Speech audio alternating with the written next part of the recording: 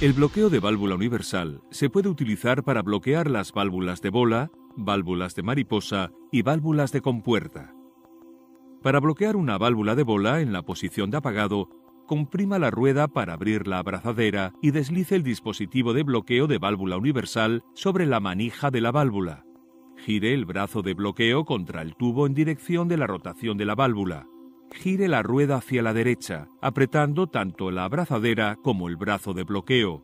Finalmente, inserte el candado a través del orificio de bloqueo para asegurar la posición de bloqueo.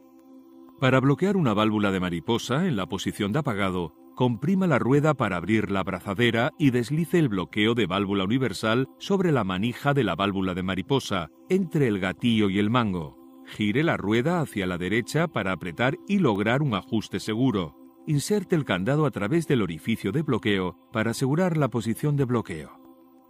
Para bloquear una válvula de compuerta en la posición de apagado, inserte el cable a través del orificio del cable en el bloqueo de válvula universal y tire del cable.